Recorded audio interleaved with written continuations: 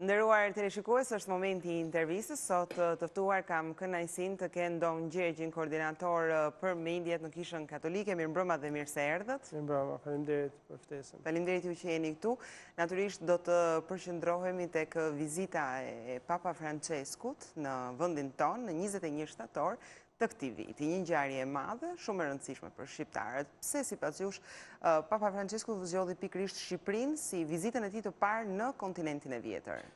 Mendoj ka arsye të shumëfishta kjo vizitë e Papës, në radhë të parë Papa vjen si bari i Kishës Katolike Universale, si bariu i katolikëve, edhe vjen të takojë, të vizitojë me ftesën e ipeshkvijve katolikë me ftesën e hierarkëve katolikë kishën në Shqipëri, por gjithashtu ai vjen edhe të takojë përfaqësuesit e shtetit në Shqipëri.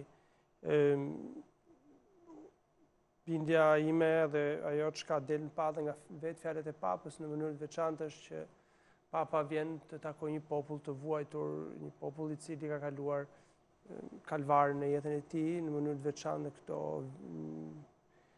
vitet e fundit, ose të themi në gjysmën e dytë të shekullit të njëzet, sidomos me regjimin komunist. Në stilin e këtij pape, e kemi theksuar disa herë dhe shihet qartë se është kujdesi për ato persona, për ato situata, ato realitete që janë pak a shumë të mënjanuara në në krahasim me qendrat e mëdha, me qendrat e pasura, me qendrat e forta. Papa si vizitën e parë të tijën, për shembull, jashtë Vatikanit ka bërë Lampeduzën në Sicili ku janë konsumuar disa tragjedi mbytjesh të imigrantëve afrikanë. Papa, mbas Lampeduzës, shkon dhe takon një ishull, sikurse është Sardenja, ku në mënyrë të veçantë fokusohet tek realiteti i papunësisë.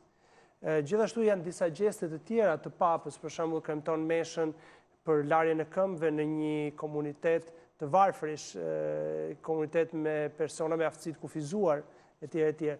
Dhe në daljen e tij në Europë, papa zgjedh pikërisht një vend të varfër, një vend që është në periferi të Europës për arsye historike, për shumë arsye të tjera, por është edhe një vend i cili ka ende plagë të hapura nga e kaluara e tij. Prandaj, Është një vizitë përkujdesje, është një vizitë e një personi që shpreh dashurinë e tij për një popull i cili ka vuajtur dhe sigurisht që nuk e ka të lehtë të rekuperojë ato plagë të së kaluarës, të cilat herë pas here shfaqen, rishfaqen dhe kështu që Mendoj ftesa e tij ka këtë duke zgjedhur një vend periferik të Europës, ai thjesht don ta risjellë në qendër të vëmendjes. Sa e rëndësishme është kjo për shqiptarët, duke pasur parasysh që është vizita e një është vizita e dytë e një pape.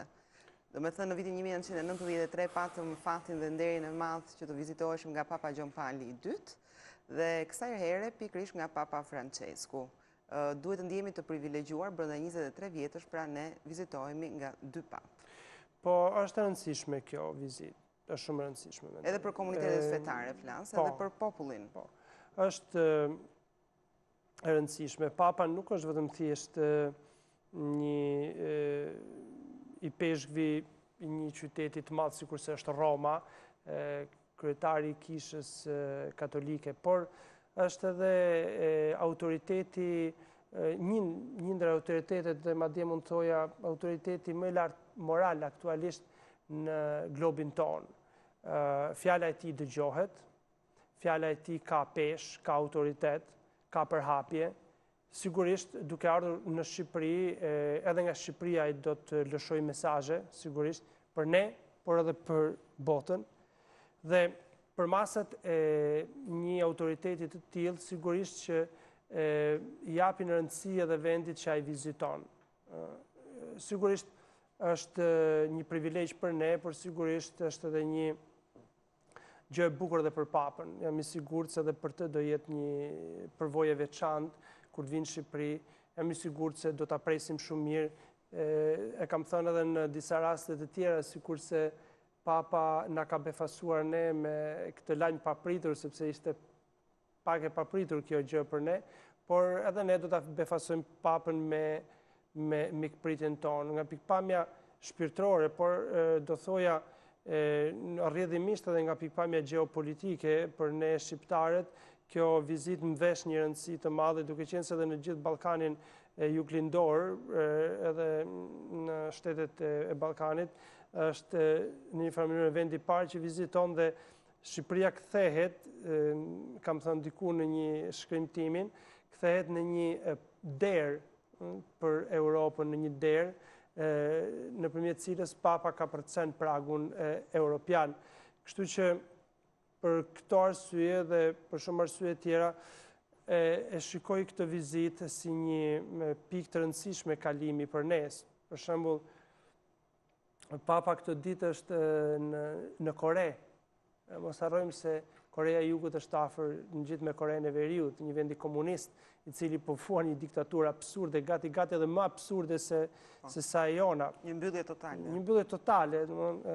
Dhe edhe atje jam i sigurt se do të lërë shenjën e vet, sikurse pat lënë Papa Gjon Pali i Dytë në vitin një mijë e nëntëqind e shtatëdhjetë e nëntë, kur nga brigjet e Otrantos iu drejtua Shqipërisë. Kështu që ky papë është i veçantë në historinë, në këtë, në këtë moment historik të, të globit, në këtë moment historik të Europës dhe të shoqërive, me fjalën e tij, po sidomos me gjestet e tij.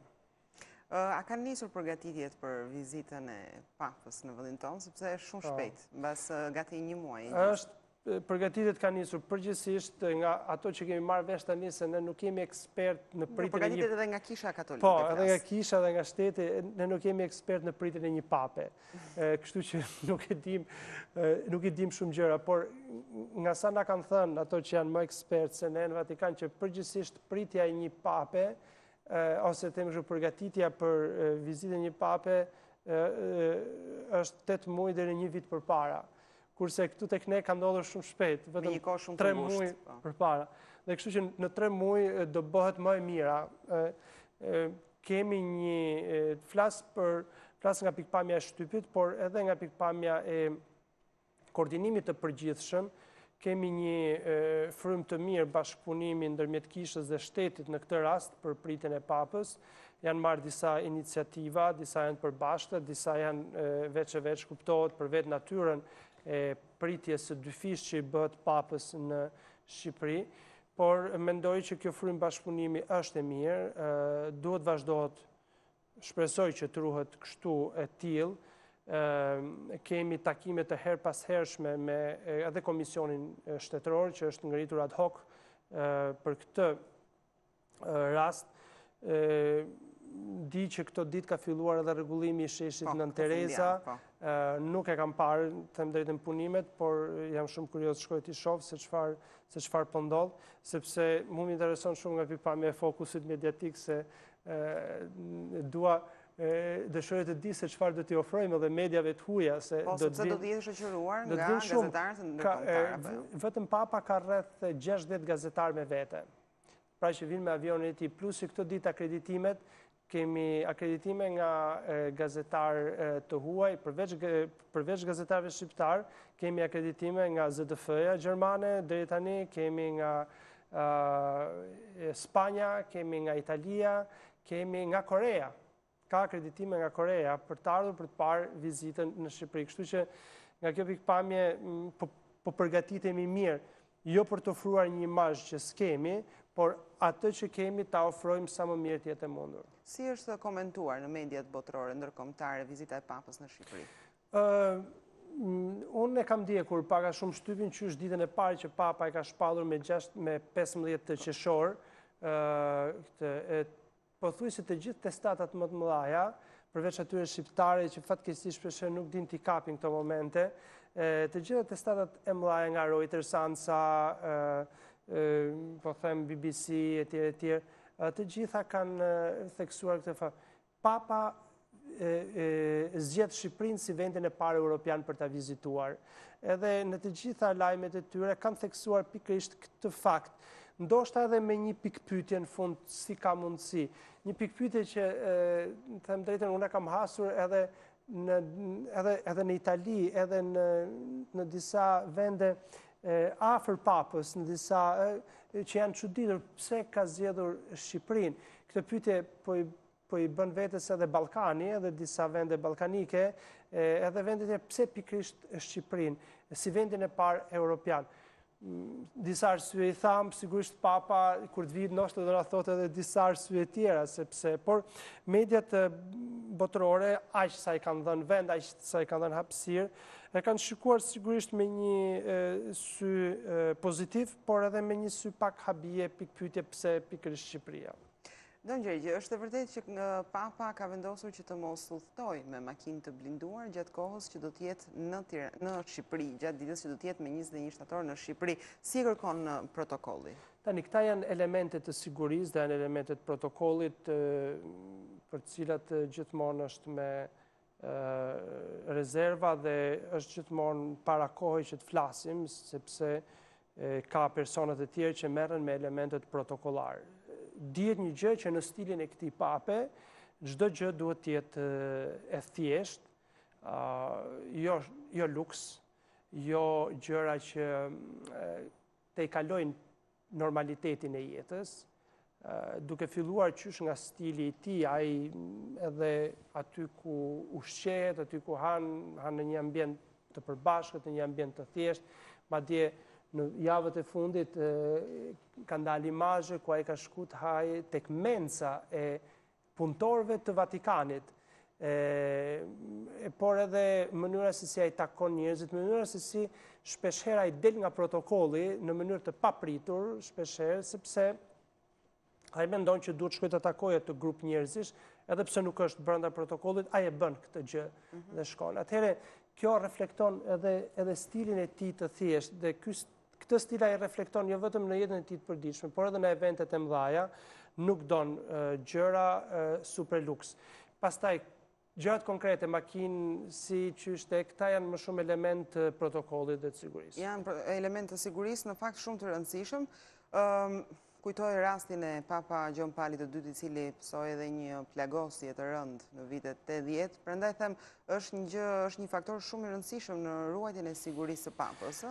Nuk është vetëm tek thjeshtësia ndoshta. Neve para një pune nisemi gjithmonë nga fakti pozitiv, nuk sigurisht Por do ketë vëmendje ndërkombëtare natyrisht. Një një person në Facebook një ditë më bëri një koment, dhe pak a shumë lidhet me këtë gjë. Ai ishte një ushtarak, person i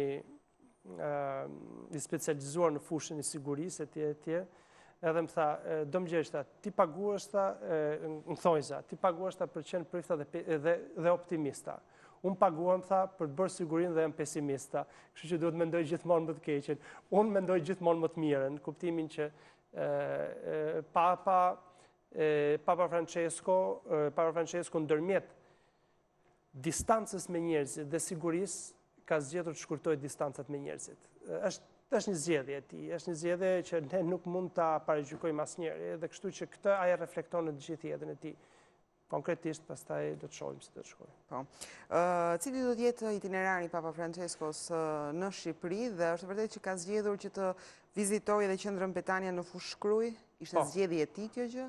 Atëherë, Papa ka dashur patjetër në udhëtimet e tij, ai i lë një hapësirë personave në nevojë. Mhm. Dhe ndër takimet e tjera do të takojë presidentin e Republikës, do të takojë kryeministrin në aeroport, do të takojë hierarkët e Kishës Katolike, do të takojë priftërit dhe murgeshat në katedralen e Tiranës dhe ai patjetër në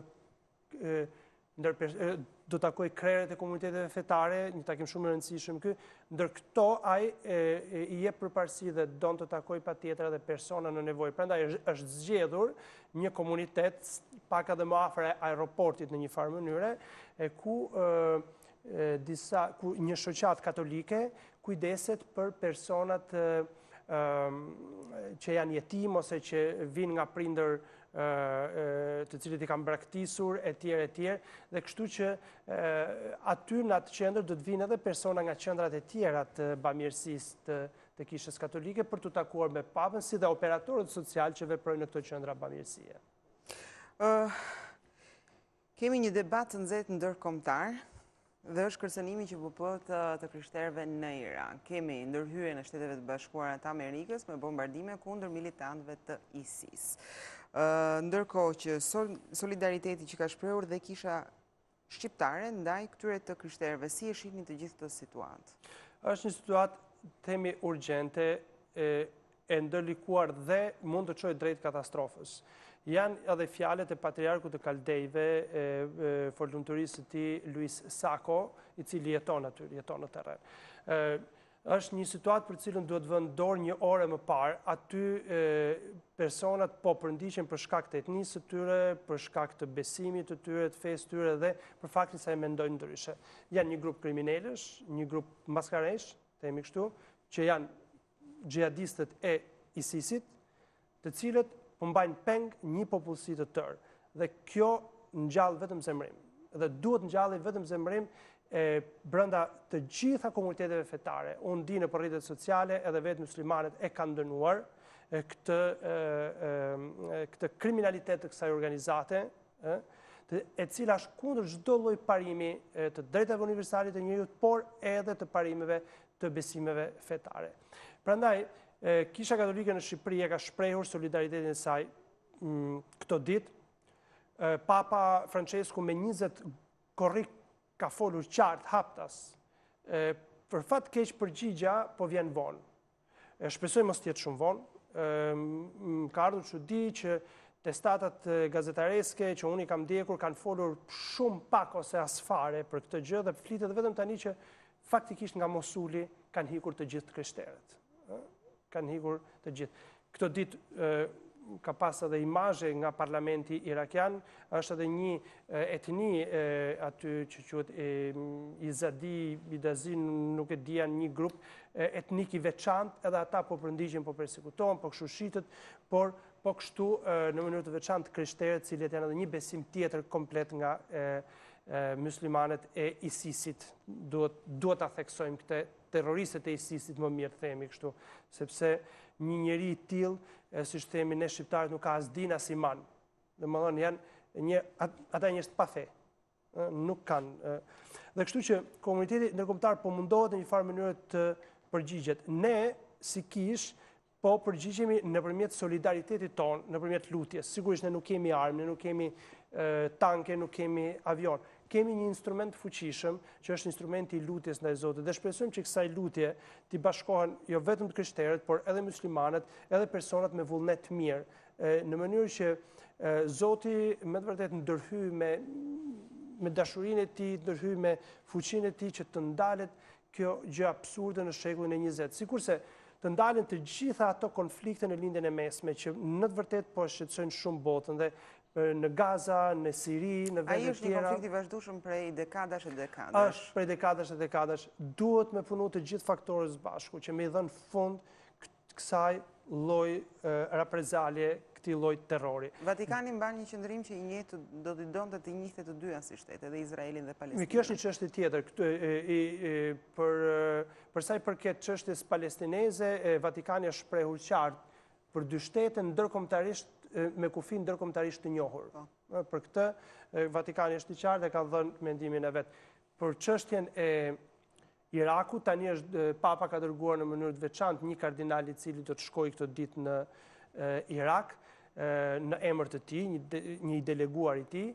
Gjithashtu të gjitha kishat janë angazhuar, Kisha Katolike në Shqipëri me datë 17 që është e diel do t'ia kushtojë këtë ditë në të gjitha kishat katolike në Shqipëri, do t'i kushtohet lutjes për situatën e Irakut në mënyrë të veçantë për përndjekjen që për po ju bëhet të krishterëve në Irak. Të një sa e rrezikuar është bota sot nga ekstremizmat të ashtuquajtur fetare, sepse nuk mund të akuzojmë fetë në këtë rast, po këto ekstremizma, sa të rrezikshëm janë? Shiko, ekstremizmat kanë ekzistu gjithmonë në po. botë të një ngjyrimi apo të një ngjyrimi tjetër fetar apo politik apo etnik etj etj ballkani vetëm pak ka dalë nga luftrat etnike nga ekstremizmi etnik që pati në ish jugosllavinë e atëhershme po për të qenë vetëm në shpinë tonë kur i thon fjalës gjithmonë ekstremizmat janë frut i një mendësie përjashtuese ose i një mendësie që thotë të vërtetën e kam unë dhe gjithçka që është jashtë meje është gabim pra nuk duhet të ekzistojë Atëherë, për sa kohë do të ketë mendje perverse që do të arsyetojë në këtë mënyrë që gjithkush mendon ndryshe nga unë është kundër meje, është duhet përjashtuar, duhet vrarë, neve do të kemi probleme. Bota rrezikon, bota rrezikon jo vetëm me ekstremizmat fetar, bota rrezikon edhe me ekstremizmat e natyrës etnike, sikurse është për shembull Afrika, ekstremizmat e natyrës ideologjike, sikurse e kemi në disa vende të Azisë, e ekstremizmat e natyrës ekonomike, sikurse është lufta për shembull në, në Rusi apo në vende të tjera, edhe atyre ideologjike, për shembull rrezikun që i vjen botës realitetin nga fryrja e, e disa parimeve të cilat më shumë kërkojnë plotësimin e tekave të individëve sesa themi kështu të mirën e shoqërisë. Atëherë sa herë të ketë fryma përjashtuese në jetën e globit, në jetën e shoqërisë, aq herë bota është e rrezikuar nga konfliktet. Po pse sipas jush që nga viti 2001, që kur ndodhen sulmet e 11 shtatorit, le të themi që ekstremizmat fetar morën një peshë shumë të rëndësishme në mbarë botën dhe akte terroriste janë kryer pa fund, pa numër në të gjitha anët e botës, Në emër të një besimi fetar. Shiko, në emër të një besimi, gjithmonë edhe religjioni ka edhe ambiguitetin e vet, sepse në emër të në emër të Zotit njerëzit kanë bërë mrekulli, kanë bërë gjëra shumë të bukura, por në emër të Zotit njerëzit edhe kanë vrarë, edhe sot edhe po vrasin në emër të Zotit. ë Të vrasësh në emër të Zotit është një fyerje ndaj Zotit, është një fyerje ndaj dashurisë tij, është është një fyerje ndaj natyrës së Zotit i cili krijon dhe don. ë Unë unë mendoj që kush bëhet ekstremist në emër të Zotit do të thotë se nuk ka një marrëdhënie me Zotin, po ka një marrëdhënie vetëm me vetveten. Ka idhujtarizu vetveten. Është bërë vetvetja është bërë idhulli i tij dhe don t'i shkojë deri në fund egos vetvetes. Mos të harrojmë pastaj që shpeshherë religjioni përdoret edhe nga përfitime ekonomike. Lindja e Mesme, ne e dimë mirë që është një rezervuar nafte dhe aty ka shumë interesa përveç se atyre fetare. Prandaj që feja shpeshherë përdoret gabimisht edhe nga njerëz me pushtet në mënyrë që të sulmojnë.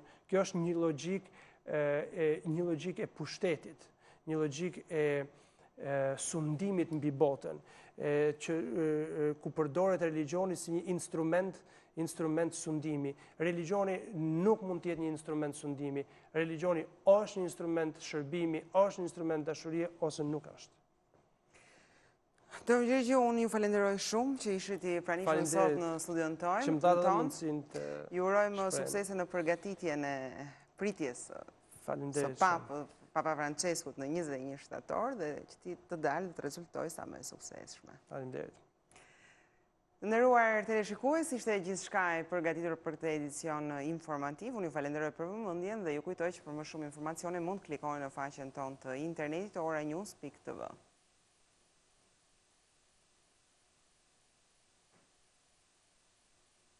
Bashkë ndahemi këtu, natën e mirë.